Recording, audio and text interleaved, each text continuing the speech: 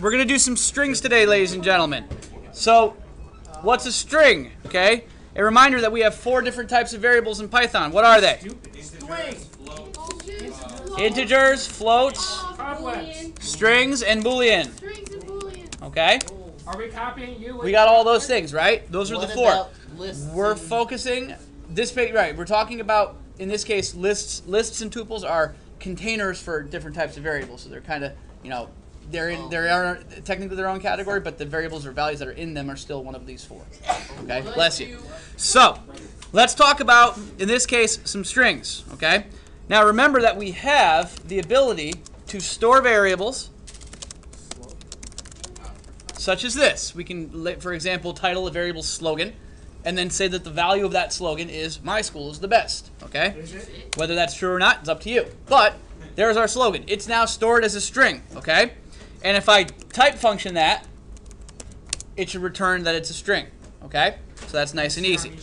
Now I also can, of course, call that, and I can have it print just like that. Okay. I can even tell it, for example, in a in a code, to print it as well. Okay? So I can have those those functions all executed based on that string. Now, question. When you when you um typed in slogan, Mhm. right? You hit enter. Mhm. I noticed that what comes up looks like a string. Uh-huh. Has the, the apostrophe.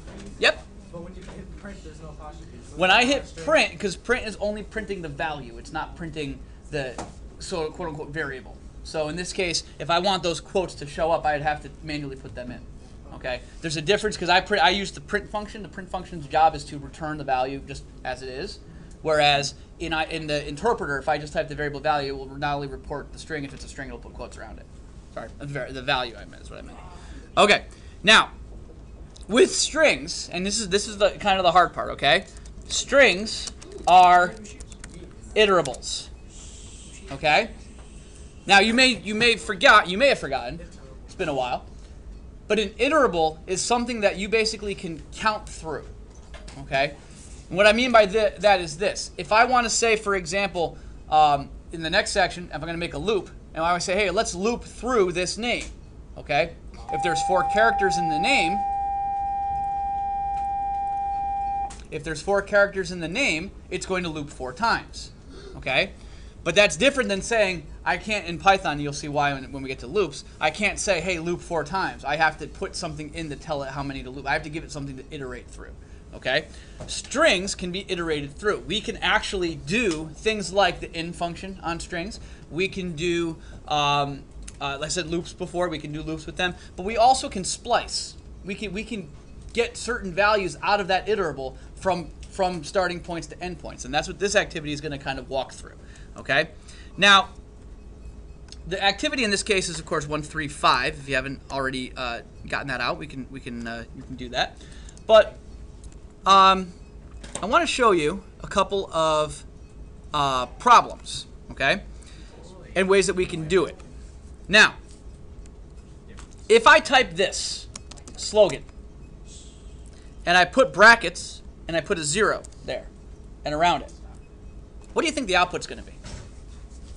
I'll remind you that the slogan's value is "My school is the best." So what do you think? I'm, what do you think is going to come out if I if I type this into my interpreter? Error. Some say error. Okay. Well, you have not. You may not. You may not know what we're doing at this point, so you may say, no, no, whatever. But something other than error is going to come out. What is it? It's going to be M, not just M, but capital M. Okay. Now let's see if you can figure that out. See if you can oh, figure that out. Wait, is Go it ahead. the first letter? Go ahead, Alex. Yeah, it, yeah, Or- Amir said it I too, yeah? said. It's like the first character. Very first character in the string. So our zeroth value is the starting character in the string. It's the first character. Okay? So that's sort of like, well, why isn't it one, right? Well, just the way computers work. That's So, okay. Wait, if you put Okay. a slogan, zero then one. If I well, let's try it. Let's let's see what happens. I, I obviously can do this, right? I can type in another number, and I can get the fifth value. The fifth Well, in this case, it's the it's the technically if I did slogan five, is that the fifth letter really? no, No, it's the what? Six. It's the sixth letter. Oh, okay. don't count So let's let's remind that no. our space is counted. Well, let's oh, we're see. doing this? Check it out. If that's oh, H, if that's H, you're both. We're both. We're doing it both. M Y space S C H, right? That's the sixth character. Okay? So the slogan five, the slogan bracket five, okay, returns the sixth val- string, or sorry, character in the string. Okay? Just like slogan zero. So in other words, that zero is our starting point. Okay? And you're gonna find that when you're iterating, especially when you're doing loops in the next next activity, when you're iterating, you're going to have to start at zero. Okay? This is gonna be so in other words, you want to go from zero to four, it's actually gonna loop five times. Okay? So but we'll get to that. We'll get to that. All right. Now, what if I want, like what you said, uh, what, what if I want a, um, a range of values? What if I want it to show, like, say, for example, the second through the fifth characters? Okay? What if I want that to happen? Well, the way I do that is I do this I type 0 through 5, but we're using a colon to separate it. And when I do that, I get that output. Okay? Now, is that what you may have thought what was going to happen? What's different about that, the way this came out, versus what we typed when we was just slogan 5? Um, Go ahead. I don't know if this is what you're looking for, but I noticed that it counts as space as a character. Yes, the space So- is counted so- as a character. So it's Oh. counting from the zero uh, character, which is M, all the way to the sixth character, which is C. The No, sixth character is not C. Not six.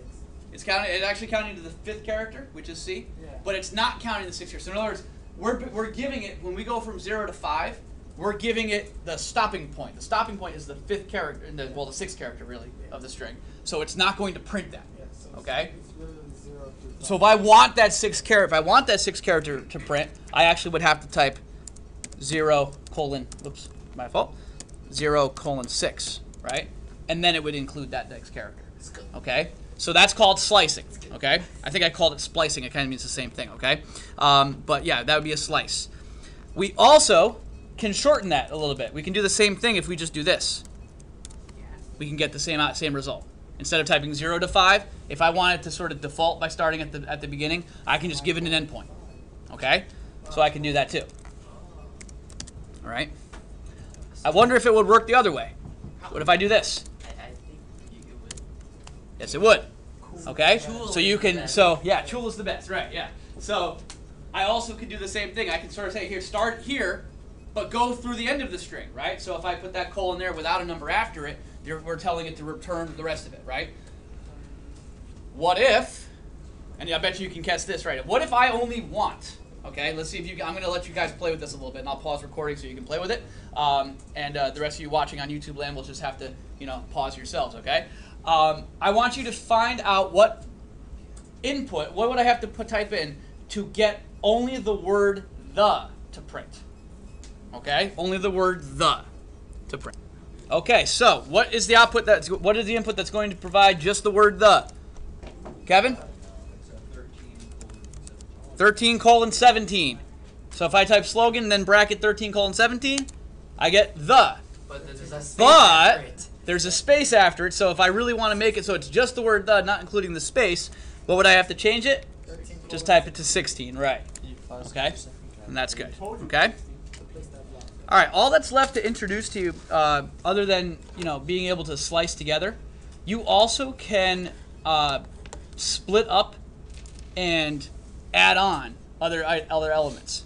So, for example, if let's say I wanted to change the slogan to "My school is awesome" instead of saying "My school is the best," but I want to do it in a weirder way. In other words, I could just reassign it. Yeah, I know that, but you know, if we want to illustrate what we can do with the with the um, with the slicing mechanisms, we can do it this way. We can type slogan, right? And I can say I want to go through. Let's see, if I want to stop at is right. If I want to stop at is and end it right there, that's going to be 3, 9, 10, 11, 12, right? So I want to go up to 13, uh, up to 12, excuse me.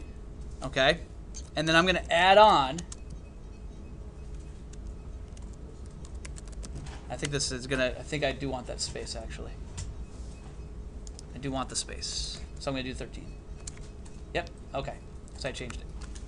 So now look what I did. I took the first 13 characters out of slogan and then added on the word awesome. Okay?